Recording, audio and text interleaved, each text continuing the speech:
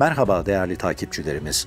Bizlere destek olmak için kanalımıza abone olup bildirim zilinizi açmayı unutmayınız. Son dakika gelişmesiyle sizlerleyiz. Terörist elebaşı Abdi Şahin öldürüldü mü? ABD'den İHA saldırısı açıklaması.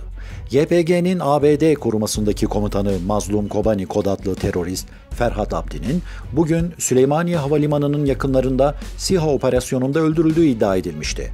ABD Merkez Kuvvetler Komutanlığı'ndan saldırıyı doğrulayan bir açıklama geldi.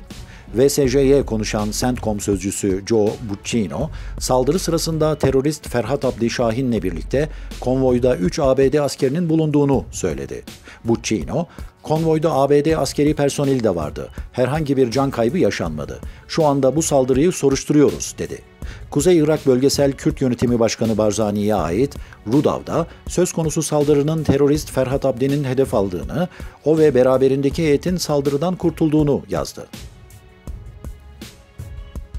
Kıymetli takipçilerimiz, bir haberimizin daha sonuna geldik. Bir sonraki haberimizde görüşmek üzere.